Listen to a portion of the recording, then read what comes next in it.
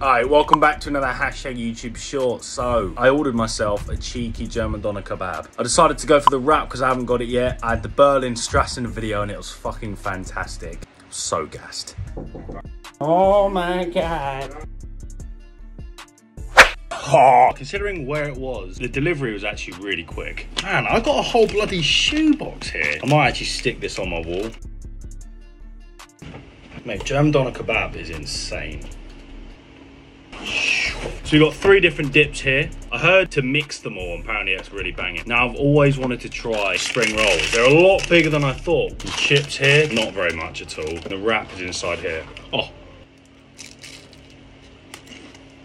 Definitely got jalapenos in it. They've got one chicken, one beef.